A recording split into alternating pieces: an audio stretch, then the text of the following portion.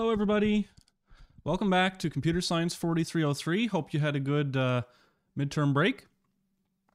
Um, I just got back from vacation, so I had a bunch of vacations canceled by COVID, so it was nice to get away for a little while, but I'm glad to be back um, continuing on with the course. So I've changed up the, the order of the lectures a little bit. I was originally going to do the C++ code profiling and debugging lecture today, but what I'm going to do now is actually the uh, introduction to procedural content generation, because that's a bit more fun and it's needed for assignment three, so we'll get that out of the way first. So just let me know if you can hear me okay uh, in the chat, and then I'll get going. Should be all fine. Apologies if I'm coughing a little bit today. I don't know, I uh, got a bit of a sniffle last night, so ho hopefully it's nothing serious. All right, so let's uh, let's get on with the lecture, and you can hear me. That's great, perfect. So today, um, oops, this is supposed to be lecture number nine. Let me change that. There we go. So lecture number nine is about uh, procedural content generation, and we'll talk about what that is and what it means. And uh, we'll see that in order to do procedural content generation, usually we will need to be able to generate some random numbers for some definition of what random is. Um, so we'll talk about random number generation as well toward the end of the lecture. So PCG, procedural content generation. What is it? Well, let's break down the uh, the term. So we have procedural generation is the first uh, thing. So we have procedural here. What does that mean? It means, well, the definition is with no or limited human intervention. So essentially, you can think of PCG or as of procedural generation um, of anything as algorithmic or automatic generation in some in some cases. So it may be completely 100% automatic, it may have some human intervention, but it's some sort of algorithmic or automated generation of content. And of course, the content part, um, content is going to be things that affect our gameplay somehow in our game. So we're not necessarily modifying the game engine. There are some people out there doing PCG that make actual games um, like making the mechanics of the game and stuff. But um, we're not going to be covering things like that. It's a bit too complex for this course. And so, procedural content generation for games, we can have PCG in almost any game that we could think of. So, I have some examples here. Of course, you are all very familiar um, with Minecraft by now, especially those of you doing the Minecraft project. And so, there is a ton of PCG going on in Minecraft. Whenever you start up uh, a Minecraft uh, world, it takes an integer seed and it turns it into a world. And so that random number generation um, is able to produce, uh, algorithmically produce a world for you to explore somehow. Very similarly, this happens in Terraria as well. Oops, my camera is blocking the Terraria logo up here. But Terraria is essentially, uh, I apologize, I know that this isn't true, but in an abstract sort of way, Terraria is like a 2D version of Minecraft, right? Um, where you are in a world, it is procedurally generated, and you get blocks and you you do stuff. So if we look here, we actually have an animation of how the Terraria world um, is at least in theory generated. So you can see that some things are generated before others. Now we're generating the lava. Um, let me go back and start this one over. So we've generated the basic structure of the top and the bottom, put some caves in. Now we have some dungeon-like areas. Then there's some lava down here. Here's the lava at the very bottom of the world. Um, we've got some tunnels here. And so the game is generated, generated procedurally when you start it up. And that will produce some interesting gameplay and the whole point of this is to make every time you play the game a little bit different. We also have Spelunky. So if you've never played Spelunky, it's a really fun uh, 2D platforming game where your job is to spelunk or go down in a mine, and the levels are generated um, pseudo-randomly every time that you play the game. We've also heard of uh, No Man's Sky. This is the game that claimed to, you'll never need another game again, right? Because No Man's Sky has infinite content. Um, the game turned out to be okay, but it had a little bit of a rocky start. But essentially, in this game, there's a uh, infinite space that you can explore. You land on planets that maybe nobody has ever seen before, and there are interesting things on those planets. And it turns out we're actually going to ma be making a um, what would I call it? A simpler version of No Man's Sky, but single player for Assignment 3. So we'll we'll get into that uh, in a couple of lectures. Um, a lot of sim worlds have uh, procedural content generation. So if you've ever played Sim City uh, or City Skylines or Tropico or anything like that, every time you load up a new level, it, it generates a new world for you. Of course, we've got the the granddaddy of them all, Dwarf Fortress, that procedurally generate not only the level, but the entire history of the dwarves in the world that you've created. So procedural content generation can go really, really deep, and Dwarf Fortress is kind of, I guess, I wouldn't say the pinnacle, but probably the game with the most procedural content generation going on in it. Of course, we can also do things like very simple mazes. Um, so we can generate mazes algorithmically that are solvable and have certain properties. I'll just let this one finish out here. So there we go. That's one way to generate a maze. Uh, we can also have PCG generate uh, interesting dungeons for games. And so here we've got an example of an algorithm doing that. We can also uh, generate things like terrain. So we can use the output from things like uh, noise algorithms, which we'll talk about in a, I think, next lecture, um, to generate height maps for terrain that do interesting things. We can generate things like weather for our environments. Um, we can also have uh, computer assisted design, right? So we have PCG that is assisting a human. So, for example, in this example here, and I apologize, I don't have a reference for this, um, but the human is kind of the human designer is clicking where they want stuff to be, but then the PCG is determining what should go there. All right, so that's that's kind of interesting uh, marriage between algorithmics and, and human design. So, what can procedural content generation actually do? Well, ideally, what you're going to do is create endless games and endless content, right? Um, that's not always the case. I mean, games like Minecraft have achieved that to a certain level. Um, but there is still some things about the game that, you know, a human should probably have a hand in, like, you know, the game mechanics and the point of the game and stuff like that. What it can do uh, in practice is reduce game development time and cost by auto generating content for you. So, if you've ever made actual games, um, it turns out that a lot of the time, the game engine itself, the programming of the game engine, is not the hardest part. Oh, I don't want to say hardest, but not the most time consuming part. Usually, the content generation and the markup that humans have to do to make the game world interesting probably takes more time than creating the game engine itself. And so procedural content generation can help you by populating your world um, within certain constraints. Um, PCG can create games that adapt their worlds and properties to player preferences. So, this is sort of a holy grail of PCG that not a lot of companies have gotten right. But what you can think of is like, let's say I'm going through a game uh, like Skyrim, right? And I'm going through the game and I am demonstrating to the game that I really like melee combat. Or maybe I'm sneaking around in the game, or maybe I've chose to cast spells, right? So you can think of games completely adapting to your style of play. Like if you want to go through a stealth game, maybe it generates more dungeons where stealth is required.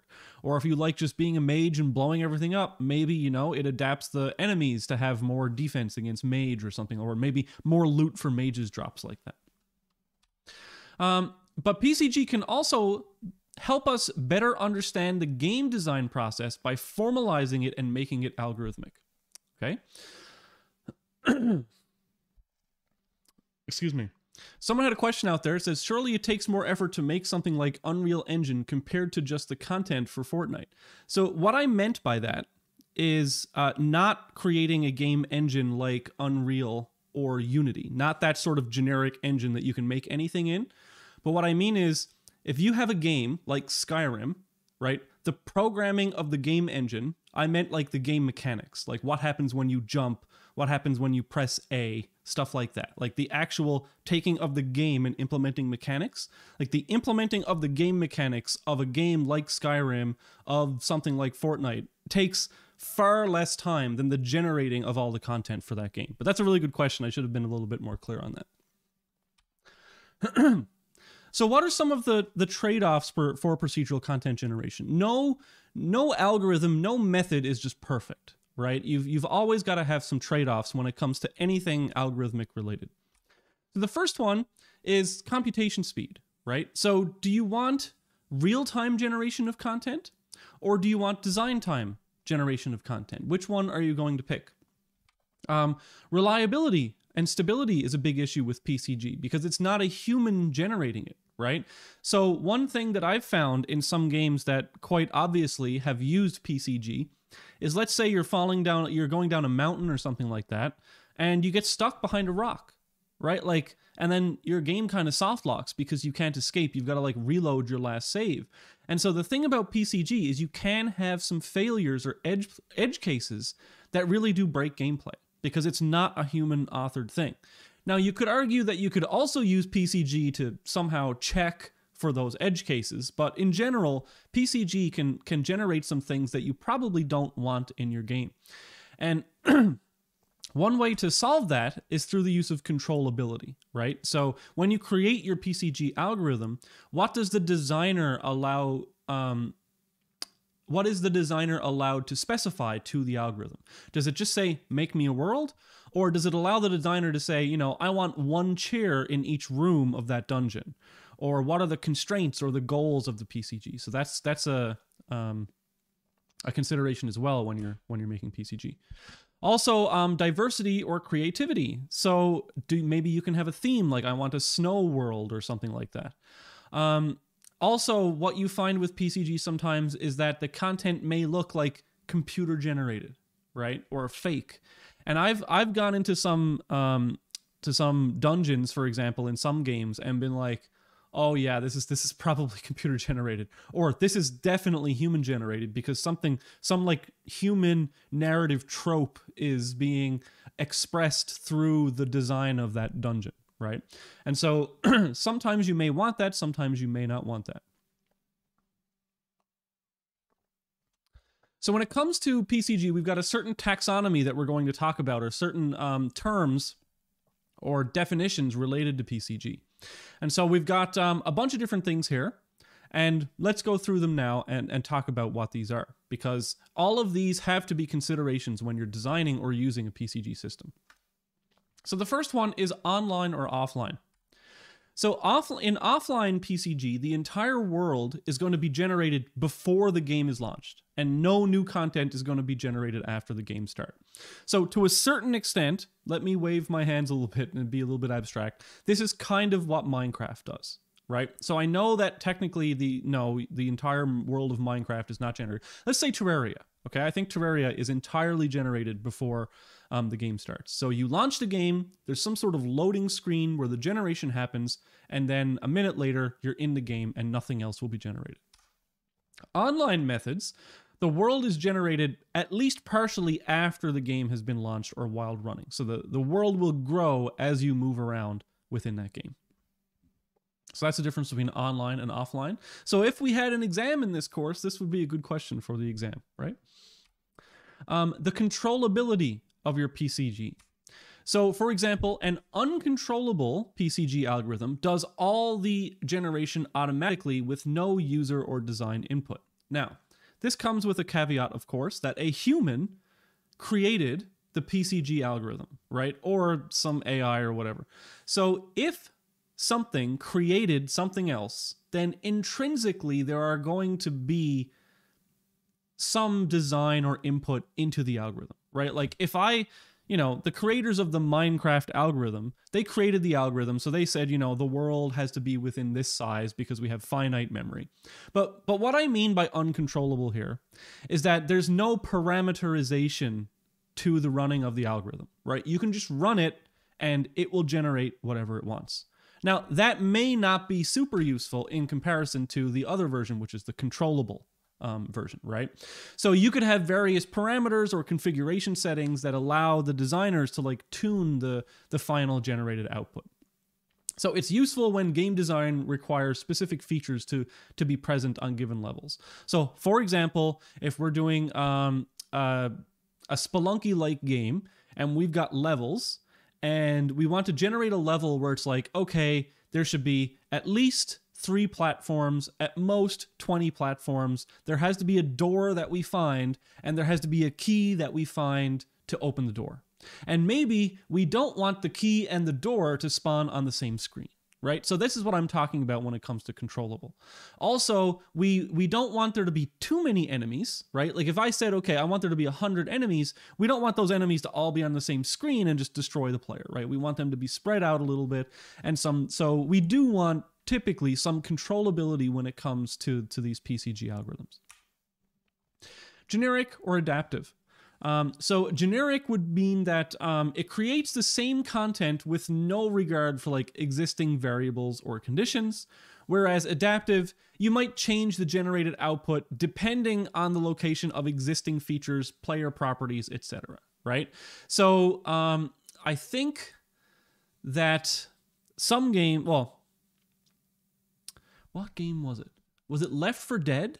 Left 4 Dead used some, now I don't want to say procedural content generation because it didn't necessarily build the levels, but it did do something where like the the gameplay and the spawning of enemies was dictated by things like the health of the players, where they were in the level, etc. So that would be very adaptive.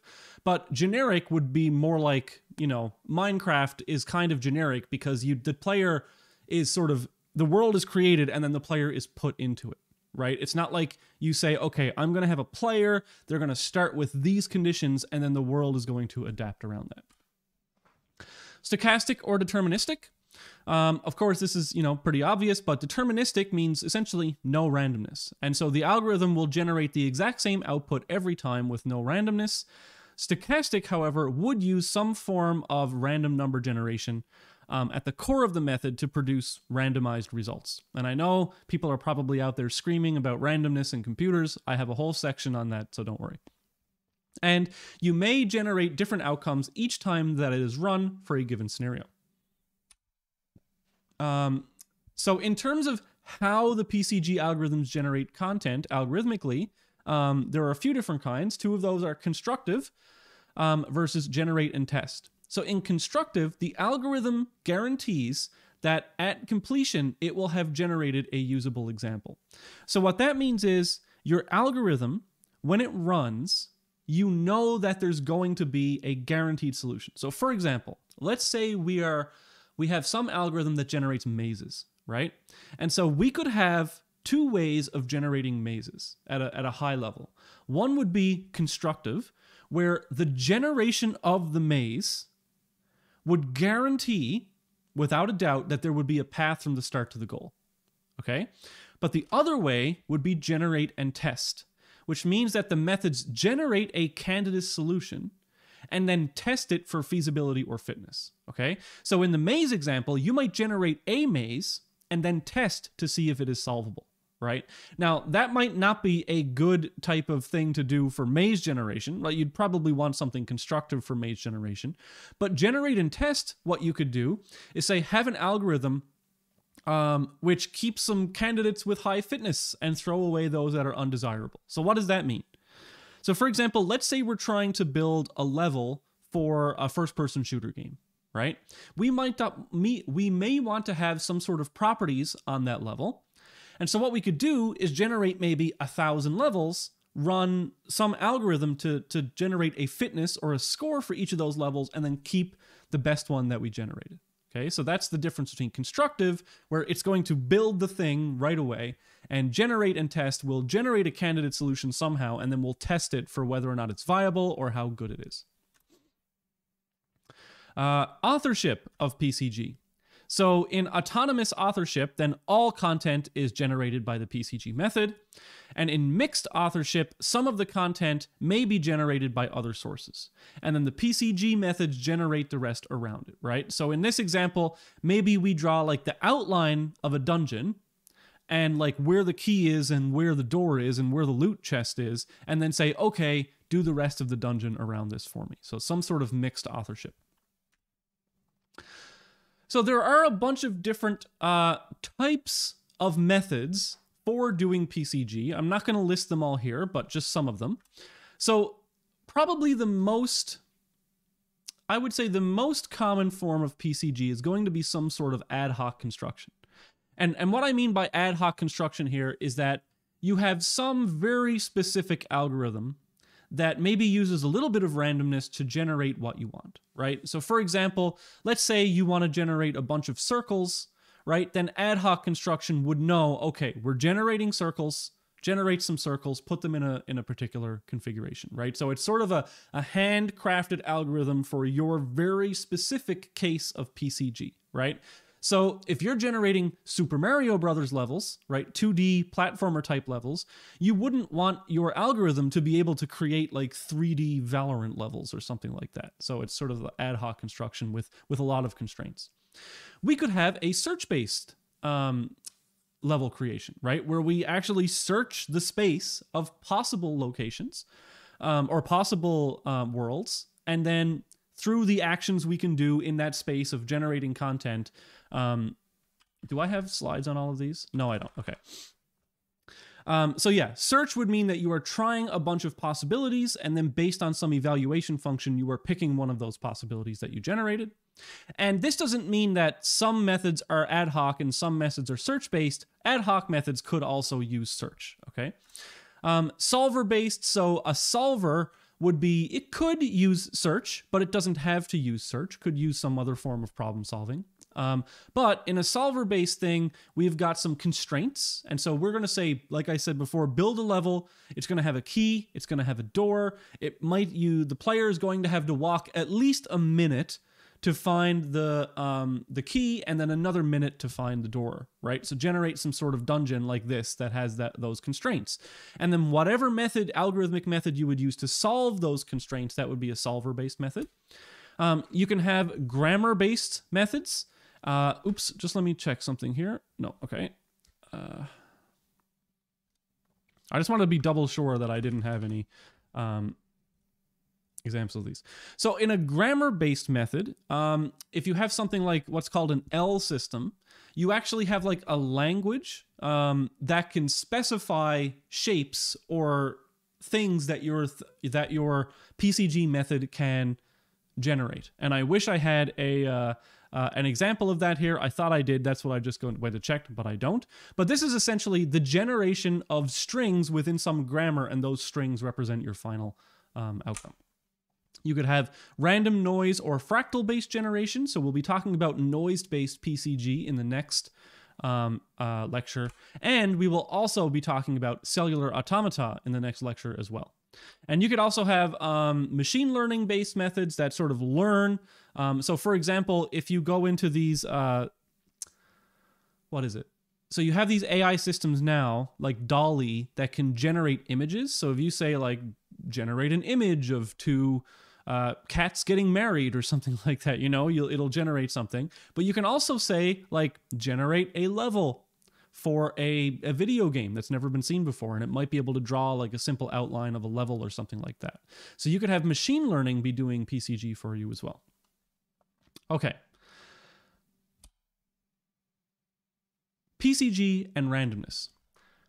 Randomness is very, very important in many forms of procedural content generation because we the whole point of PCG usually is that we want to generate something different every time, right? We don't want to just generate it and and make it stick there and the user never experiences anything different. The whole point of PCG typically is to generate different things. So many PCG methods rely on stochastic methods for randomizing the generation. The main idea here is that randomness is going to lead to diversity, right? So we won't generate the same thing every time unless for some reason we want to. And the important thing to keep note um, for the rest of the PCG part of this course is that complete randomness is usually not what we mean when we say randomize or randomness, okay? So saying randomly generated usually means that we used randomness to guide the generation. But of course, if it was true randomness, it would just be like a slew of black and white pixels, and we'd never really um, have anything usable. So, question out there for those of you in the chat who are paying attention Would you say that this is generating random points? Okay, so let's talk about randomness for just a little bit. Would you say that this is randomness? Like true randomness, unpredictability?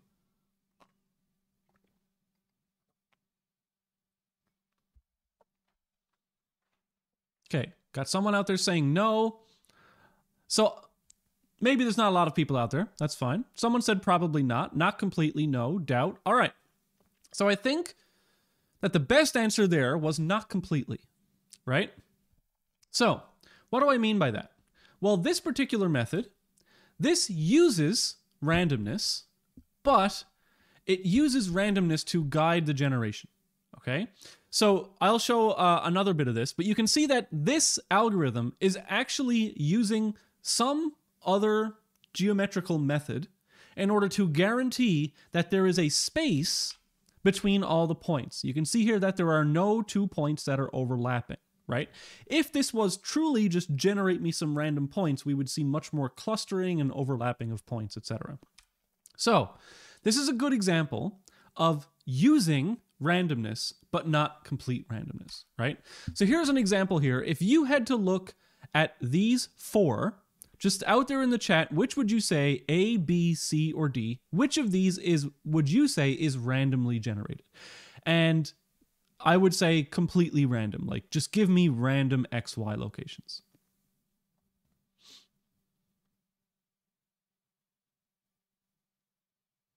Okay, so we got D's, B's and D's. Nobody is saying A or C. So that's that's a good eye, right? So this is using that algorithm that we just saw of this minimum inverse distance, in which you can see here that even though the points are like kind of they're not they're not placed by hand. There's some randomness there, right? But we've also got some constraints on that randomness, which is keeping them from overlapping each other. Here on B and D, we do we did just say, okay, give me random points. So um, you can see here the difference between the two. If you want complete randomness, you're going to get some features of that randomness, which are, for example, okay, some points are going to overlap. And if you don't want that, then you have to place constraints on that or some other form of algorithm that uses randomness but is not completely random. All right, so I just wanted to show that. Now, pseudo random numbers.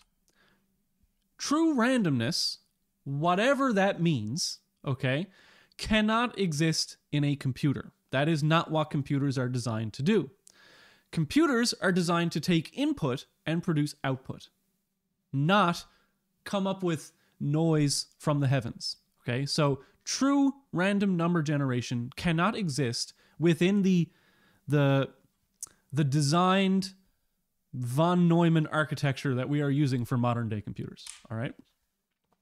So, whatever methods that we use inside a computer that generates random numbers must take some sort of input and then take that input, apply a whole bunch of math to it to produce an output, right? And that input we call the seed value. Okay, so we take a seed value, we throw some crazy function at it so that the output number looks nothing like the input number. That's typically what's happening when we generate pseudo-random numbers. And so we call them pseudo-random because they have properties of randomness, but they are not actually randomly generated.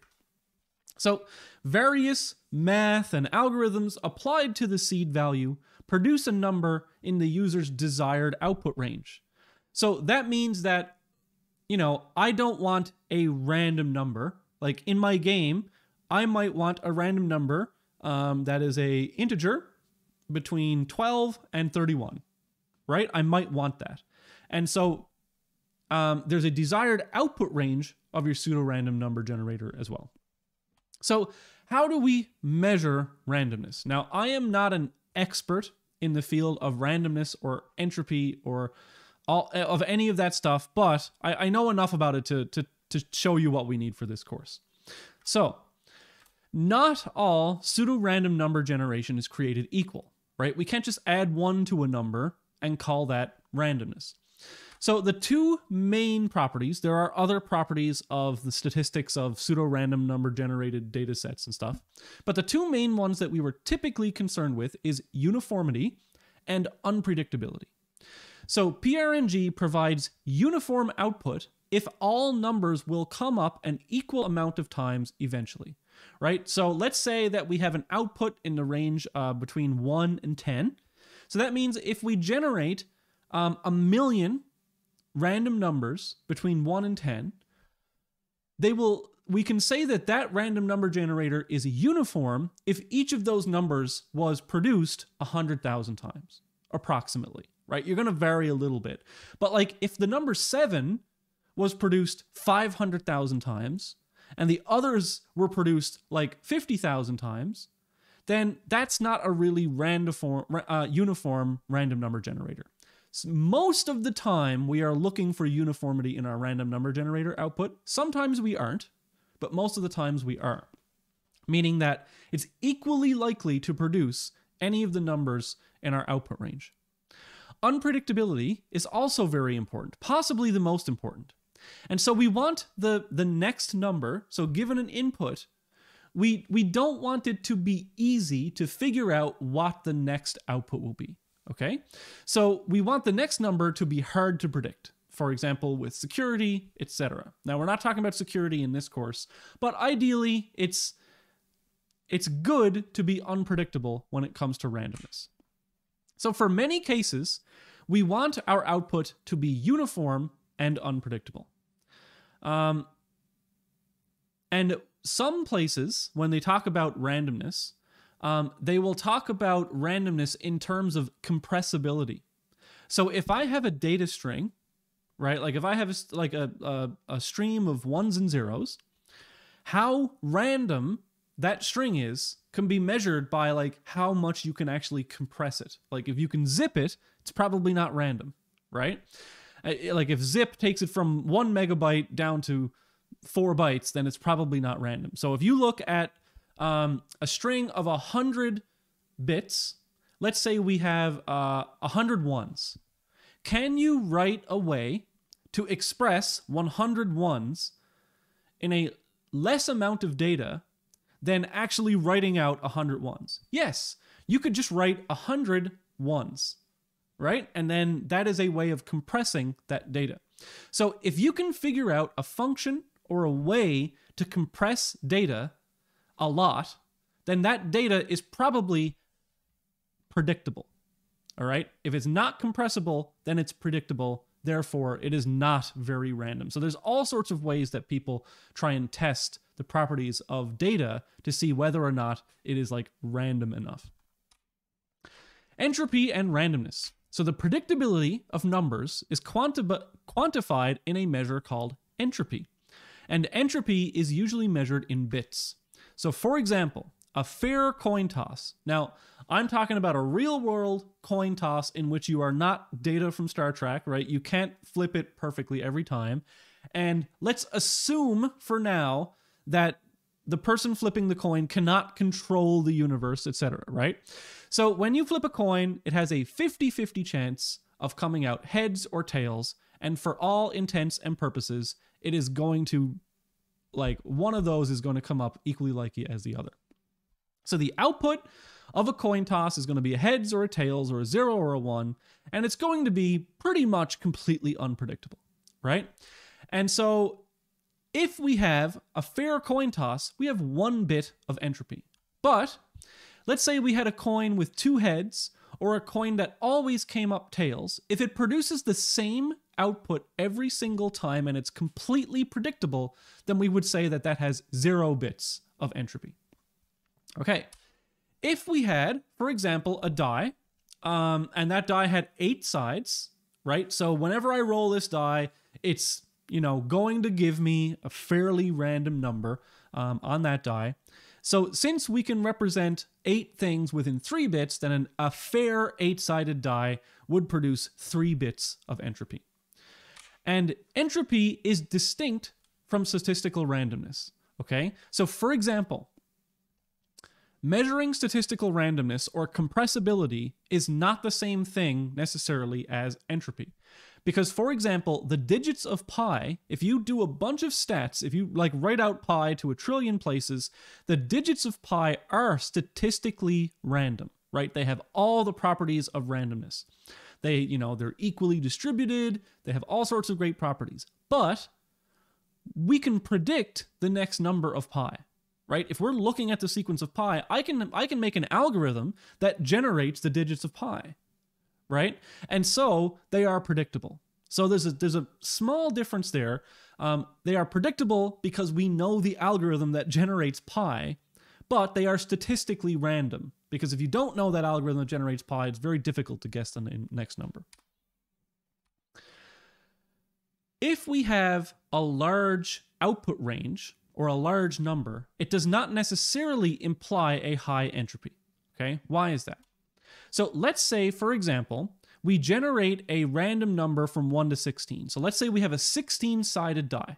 Okay, now we roll that die. This has four bits of entropy. Then we use that value to generate a 32 bit number, so a number between 1 and 4 billion. So, for example, we're going to multiply the number that we get out by 100 million, right? So, the resulting large number still only has 4 bits of entropy. And the reason is because the original value that we generated randomly with the die roll had 4 bits of entropy. Okay, so we can't generate new entropy magically. So the output range does not determine the entropy. The method of generating the randomness um, determines the entropy. So the predictability of the final output is the same as the entropy of the smaller number in this case. Now let's have a look. Um, you know, you say that, okay, true randomness doesn't exist in a computer, but you know, we have things that are fairly secure. So, how do they do it? Right? So, let's look at an example of entropy generation in the Linux kernel. All right. So, now this these numbers may have changed since I made this slide. Different distros, different kernel versions may use different numbers, but this is essentially what happens. On Linux, randomness is generated by the kernel entropy pool. All right? So you might have 4096 bits of, of kernel entropy generating random numbers, if you ask Linux, give me a random number, if you ask your operating system to give you a random number, it actually depletes that entropy pool, right? So if I'm running on Linux and I say, give me a random number or give me some entropy, it will give you a number that is fairly random, but it depletes the amount of randomness that it has left. And that that pool of entropy must then be replenished. Okay? So the kernel needs to be able to fill this memory. And so you can actually see how many bits of, of entropy you have available by, by doing this um, command. And replen- replenishing that pool is called stirring the entropy pool, because you can think of it as like stirring, creating a bit more randomness. And so the cool thing is, in operating systems, other sources can be used to stir that entropy pot. But I just said that randomness is impossible to like generate in a computer. So what is the magic behind that, right? Like, how do we generate randomness or entropy? We, we can't use magic, so what do we actually do? And one of the cool things is the kernel is actually watching you, right? The operating system is, is looking at now, not, not with a camera, but is watching what you do. So the system time of a computer is very, very accurate, down to like microseconds sometimes. And so the timestamps of user input, the keyboard, the mouse, maybe a microphone, whatever, can be used to stir the entropy pot. And I'm not going to be using like I'm not going to get into the math of all this. There's lots of math that goes on here. But essentially, if you take the microsecond timing in which I've moved the mouse or, you know, pressed a key on the keyboard, that is again essentially random right? Because it is very unpredictable to, to for me to guess when I'm going to move the mouse down to like the microsecond. So based on like user inputs, sometimes other things, um, we can stir that entropy pot. So we've got the Linux RNG flowchart. We've got some entropy sources, like real world sources of things that are essentially random. Keyboards, system interrupts, disk, speed, temperature, mouse movements. That goes into the primary entropy pool. And then we've got two types of entropy pools. We've got blocking entropy pools and non blocking entropy pools. And essentially, what this says so here we've got um, dev random, which is blocking, and dev urandom, which is non blocking. And so, what we do here is if, if we just write in an infinite loop, give me um, dev random bits of entropy, this is blocking, meaning that if it runs out of entropy, you will have to wait for it to generate new entropy before it can give you new random numbers. And down here, this is a non blocking entropy pool. And so you may run out of entropy, but it will still give you numbers based on previous entropy. Okay, so this is essentially the, the Linux uh, RNG flowchart. Now, there are other ways to get entropy as well. So some modern hardware can come with special instructions that generate entropy. It's harder to, to predict than software, but it's not perfect, okay? And so random.org, you know, if you go to generate numbers there, claims to have like true random numbers, and they get their random numbers from like entropy from atmospheric noise. And so users are limited to a number of bits of randomness per day on random.org. You can pay for more, I think. But essentially, they might have like some sensor in the sky or uh, you know at their office whatever that just generates noise in the wind or something like that right? And so it's very very hard to predict real world measurements and so that is their source of entropy.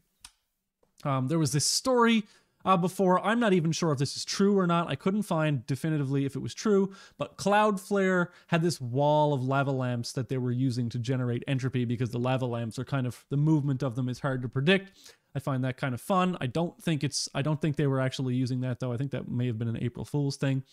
Um, and of course, like I just said before, we could have real world measurements that are like measuring I don't temperature or wind speed or you know whatever type of atmospheric changes um, that humans are not in control of to sort of generate the the the entropy pool for that. Different operating systems are going to do it in different ways, etc., etc. So random numbers in C++. This is really what we're concerned with, right? Is okay, Dave, how do I do the assignment? I know you're all just like, you know, Who cares? We don't have an exam. Just tell me what to do for the assignment. So here, here we go. So the simplest way to generate random numbers in C++ is to use this rand function, which is also present in C. For serious security, if you were doing any sort of encryption, logging onto your website, generating salts or hashes or whatever, don't use rand. It is not considered to be secure or safe, but for our course, it could be fine for our needs, okay? Random number generators take a seed, which determines the outcome of future RNG. So whenever we use rand, it's going to give us a new random number. Just one second. Uh, so whenever we call rand, it gives us a new random number. So it might give us 0, 421, 3,204, right? And we can seed that randomness with an integer. So the default seed is 0, meaning that if you do not specify a seed for the rand function, it will generate the same sequence of RNG every single time you run that program. So, you know, if you generate a million random numbers with rand, if you have never called srand to seed the random number, every time you run the program, you're going to get the same million numbers in the exact same order. Okay? So, what some people do is they take the input time so this is the time that your system measures, and you use that as an input to the seed for your random number generator. Now that's kind of a hacky way to do it, but it seeds based on the current second, which is what time time gives you back. So I've actually had bugs in software before where I thought that the program was was broken because it was producing the same sequence of numbers even though I was seeding the randomness with the time. So I'm like, why is it producing the same two sequences of numbers? And it was because I ran the program twice in the same second. And so the same seed was being pro- passed into the program. And so the same um, numbers were being generated. So that was that was kind of funny. But of course, we don't want just a random number. This is going to give us a random integer between 0 and 4 billion.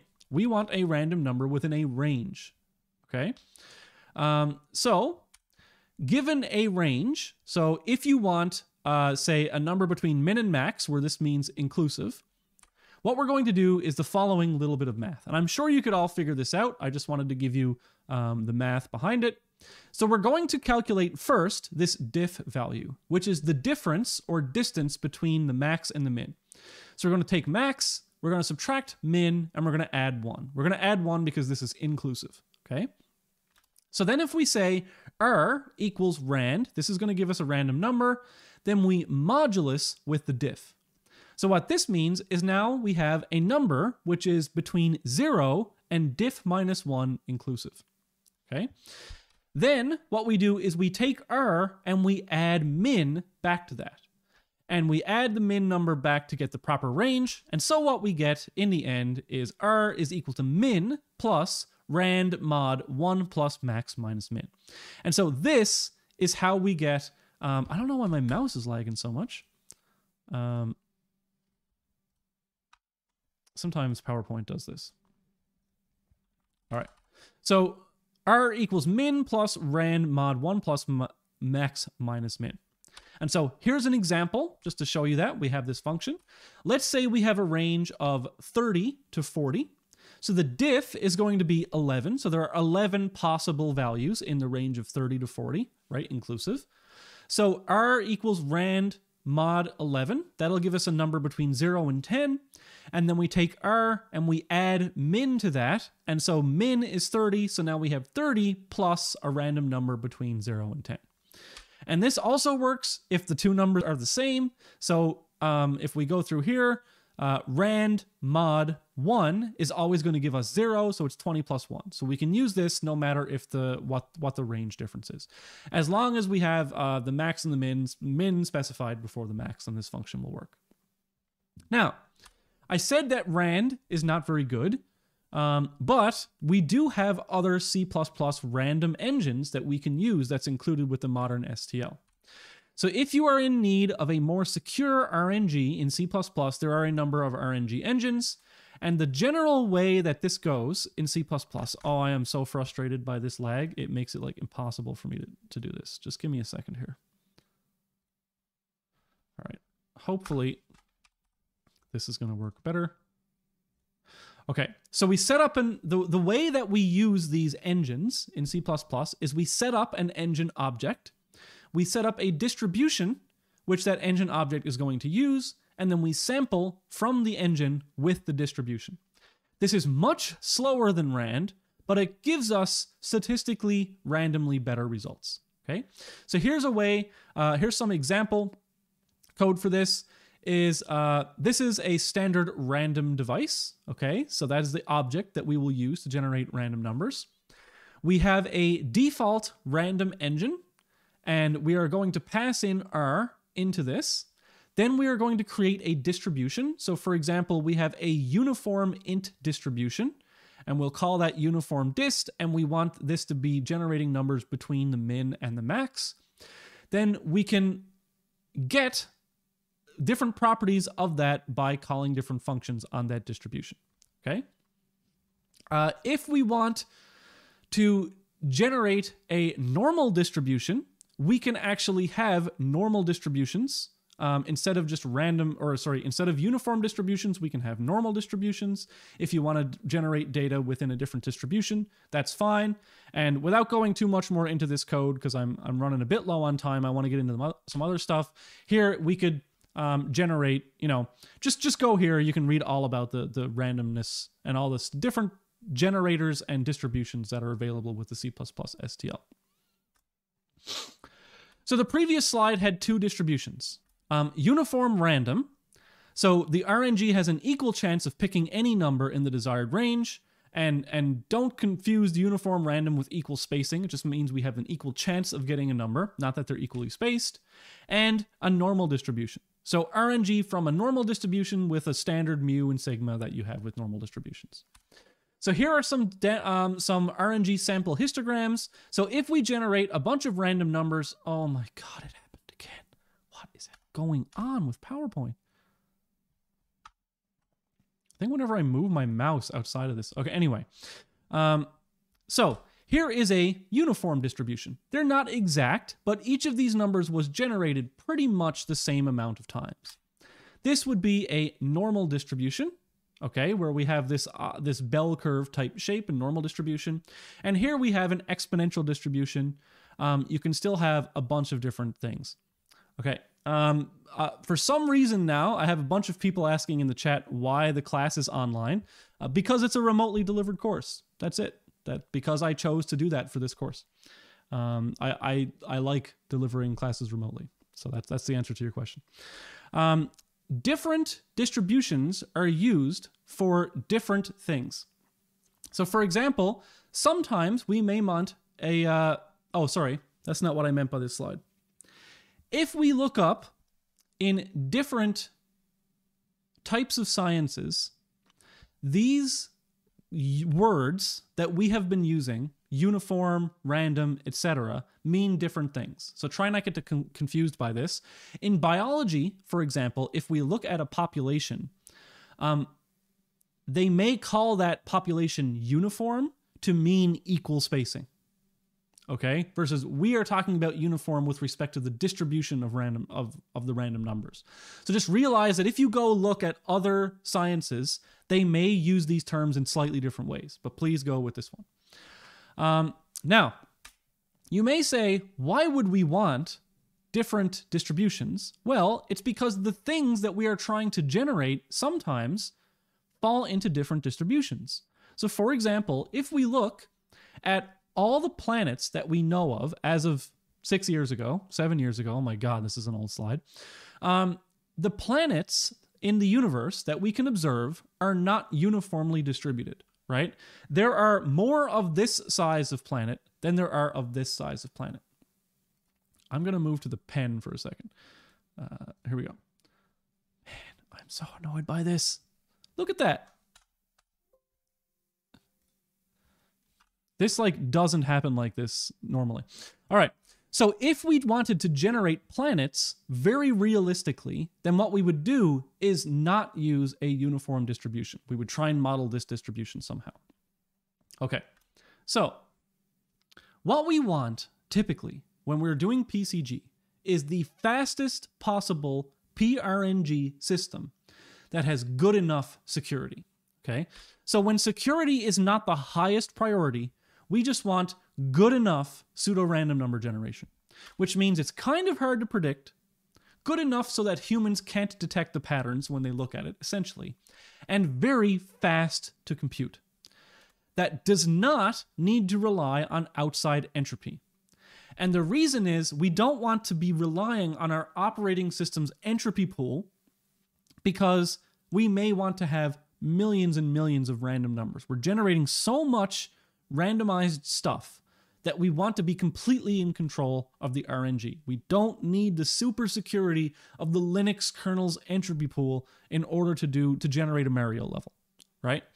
And luckily, this type of function exists. Now, what I will mention is that many types of this function exist, but after a lot of searching and a lot of testing, this is the best of such systems that I have found. That I have found, all right? If you have found a different one that is better in terms of its unpredictability and speed.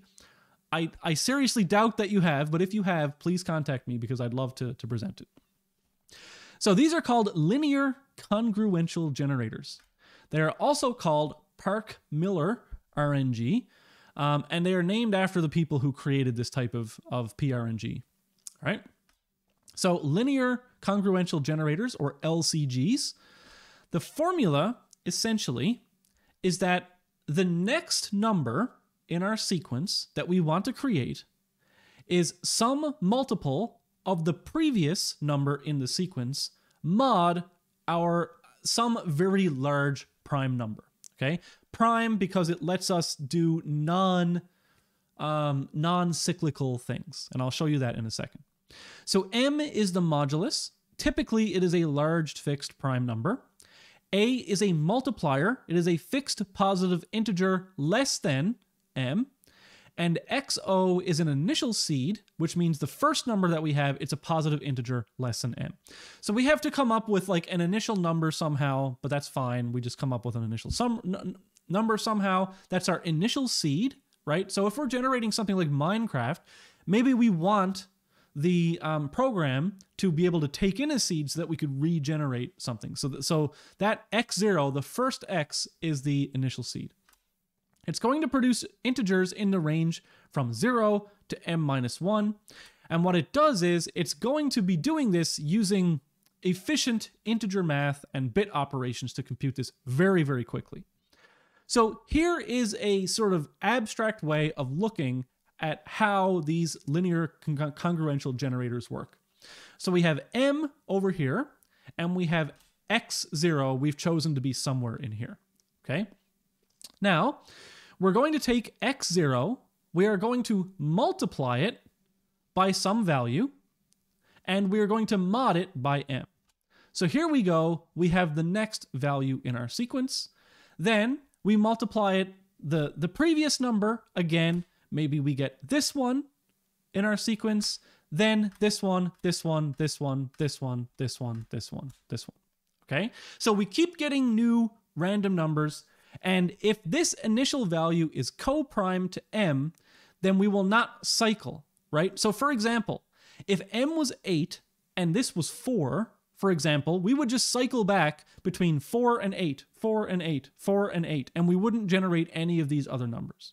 So A is what I've shown you here in this example was a very, very basic example that you would not use because I'm just going like 1, uh, 1 times XO, 2 times XO, 3 times XO, 4 times XO. That's actually quite predictable. But when A is very, very large, what we get is we can't really predict where it will be when we modulus with m, right? So we may get one here, then one here, then one here, then one here, then one here. But we're guaranteed for it to not cycle within this um, within this modulus, which is really nice property.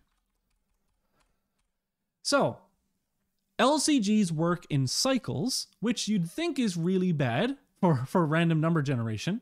But it turns out when you have like really large prime numbers and really large multipliers, then these are unpredictable.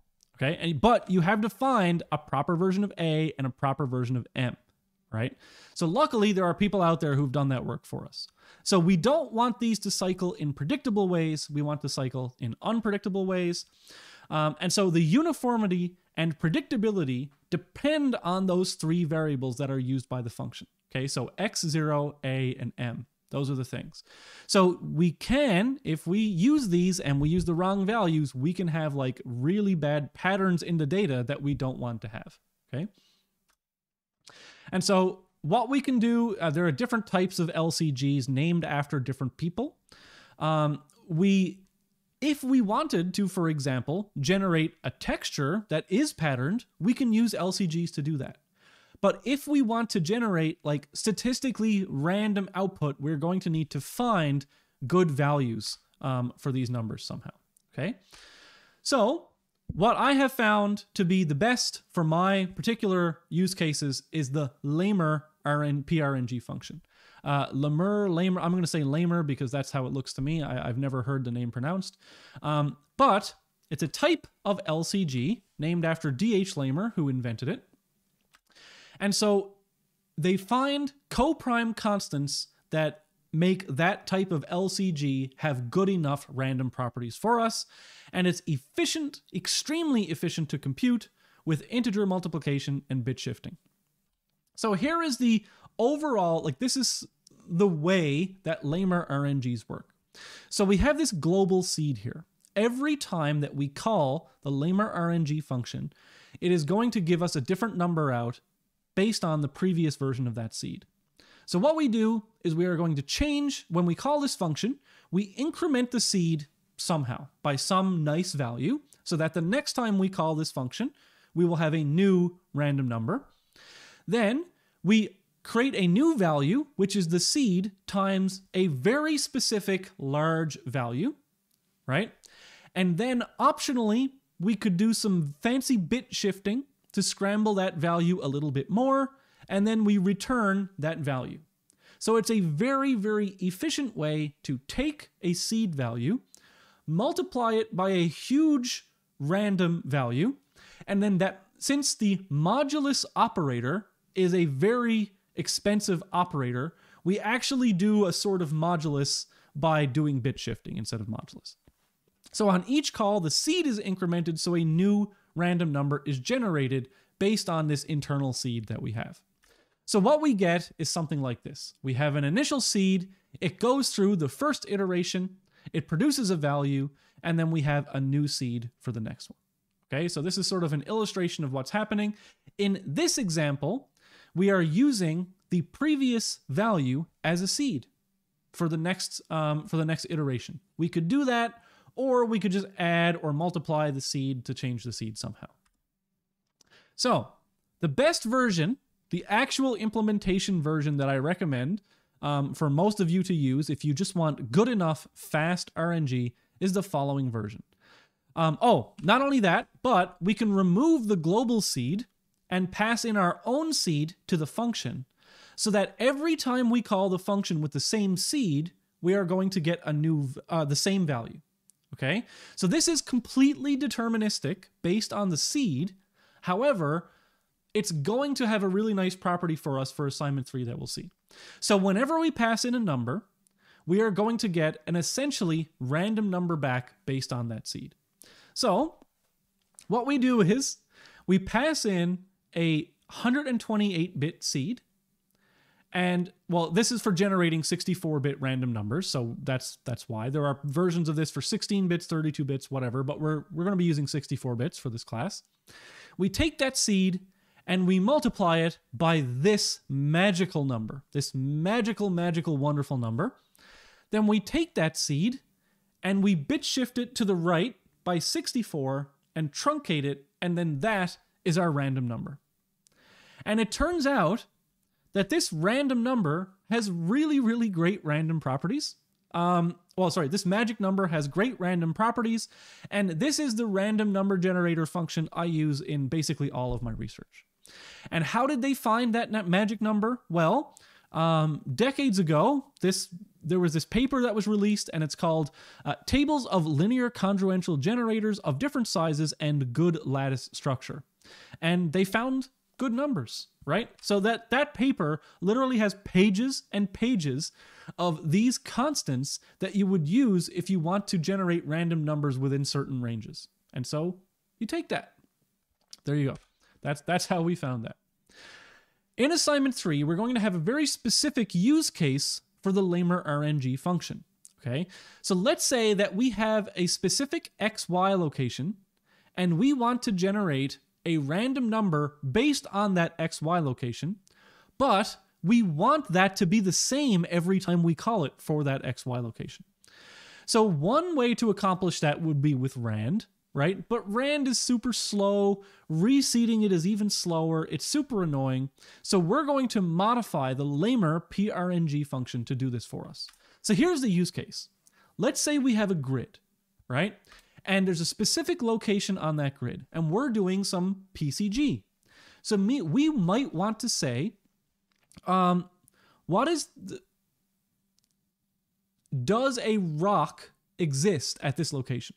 does a key exist at this location, right? We're trying to generate a random number based on that location, which is an XY location. But the Lehmer RNG function takes in a single integer seed. So what we can do is we take an XY pair and turn it into a single integer somehow, then feed that into the Lehmer RNG function, and we get our random number based on that. So that random number is it's hard to predict, right? But it is actually deterministic. So if we run this program multiple times, we are going to get the same value for that um, particular um, instance.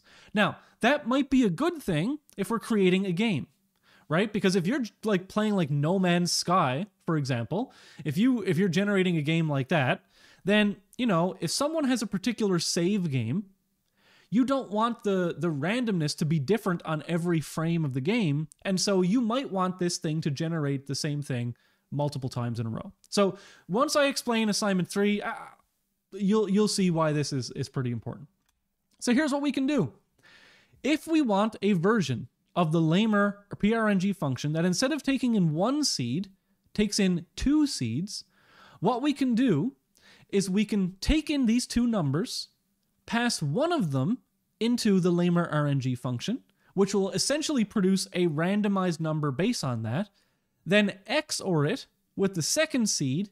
This gives us a single seed value that we can then pass back into this Lehmer RNG function. Because we essentially have to produce one number from two numbers, right? And we can't just like add them together because then the, the position 1, 2 would give us the same result as 3, 0. Right? We can't just multiply them or divide them. It's actually quite difficult to come up with a formula to combine two numbers to get a unique other number. So what we do is we actually use the Lehmer RNG function to produce a randomized number for this one, XOR it, which is just bit um, bit shift, not bit shifting, doing the XOR of all the individual bits to produce a sort of randomized seed and then call the Lehmer RNG function again. And the reason we're going to be doing this is because in assignment three, we are generating a randomized universe. Okay, so by doing what we're going to do is have this huge grid representing the universe, and at each point in the grid, we are going to be generating planets. And the properties of those planets we want to be the same on every frame of the game, right? So that's why we're going to be using this um, uh, Lehmer RNG function.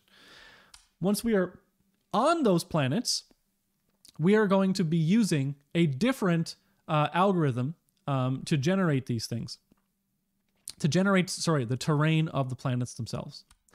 And so an example uh, from the assignment is we're going to choose an XY point on the map.